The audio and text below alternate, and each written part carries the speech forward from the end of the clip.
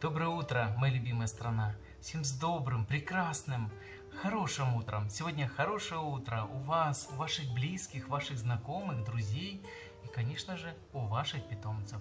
Моя сегодняшняя подсказка морская. Морская тема и можно ли купать ваших питомцев. Действительно, можно и нужно, но нужно знать, когда и какая опасность поджидает. Если вы системно купаете ваших питомцев в море, системно имеется в виду каждый день, и ваши собачки пьют оттуда воду каждый день.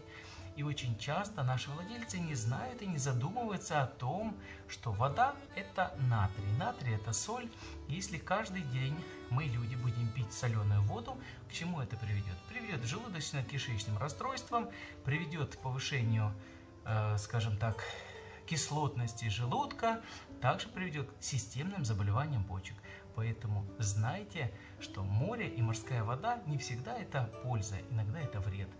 И этот вред нужно учитывать, если ваша собачка пьет воду. Знайте и пользуйтесь данной подсказкой. Спасибо большое вам за просмотр наших историй. Будьте здоровы, вы, ваши близкие и, конечно же, ваши питомцы. Всех благ и хорошего дня!